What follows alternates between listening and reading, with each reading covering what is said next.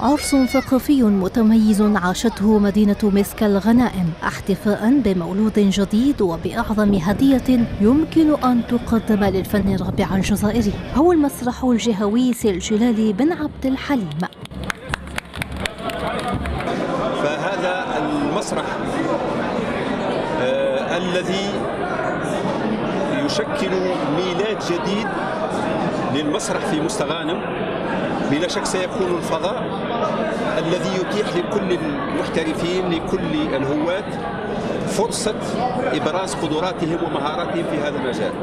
موعد أعطى الفرصة لالتقاء وجوه صنعت البهجة فوق الركح في فضاء جمع المحترفين والهواة أهدوا أعمالهم لأرواح المسرحيين. مدينة مستغانم آه، بأسمائها المسرحية الكبيرة بتاريخها المسرحي الكبير فرحة عارمة أن يكون لديها هذا الصرح الجميل. حدث امتزجت فيه كل أشكال الفرح من ساحة المدخل الرئيسي وحتى الخشبة التي أبهرت الحضور ومن فوقها الأوركسترا الوطنية لنعيش تشكيلة رائعة بين التقليدي والكلاسيكي.